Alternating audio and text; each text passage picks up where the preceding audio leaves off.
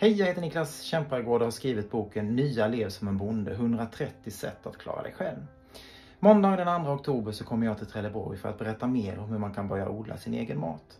Det kan räcka med att börja odla örter, kryddor, eh, vitlök eller vad som helst. Eller för den som faktiskt vill gå all in och odla i princip det mesta man lägger på tallriken under sommaren. Att eh, prata om hur man odlade förr och att leva som en bonde, det handlar inte bara om att, att säga att allt var bättre förr, utan det handlar framförallt om att kombinera kunskap från förr med modern kunskap idag. Hoppas att du vill komma och lyssna på mig måndagen den 2 oktober i Trelleborg. Hoppas att vi ses. Ha det fint! Hej!